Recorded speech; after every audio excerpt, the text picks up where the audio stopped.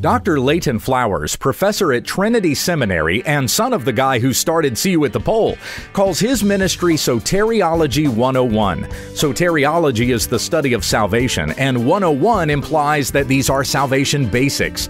But Flowers' emphasis is less on soteriology and more on being anti Calvinist. Look at the logo. Is Calvinism correct? In the statement of faith on his website, the entire preamble is about disavowing Calvinism. Soteriology isn't mentioned until the fourth paragraph. Article 1 is on the gospel, and it's rather vague. Yes, the gospel is the good news of salvation through Jesus Christ, but salvation how? John 3:16 Whosoever believes in him will not perish but have eternal life. Come on, this is Soteriology 101. Article 1 also says we deny that only a select few are capable of responding to the gospel.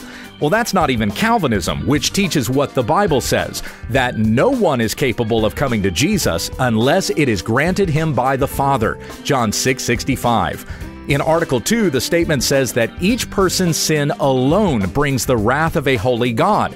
But that's not what the Bible says. Romans 5:12 says sin came into the world through one man, and death through sin, and so death spread to all men because all sinned.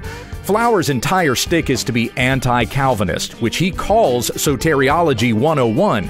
But at the end of the day, Flowers understands neither Calvinism nor the basic biblical doctrines of salvation. Romans 8:30 says that those whom God predestined, he also called, and those whom he called, he also justified, and those whom he justified, he also glorified. That's Soteriology 101 when we understand the text.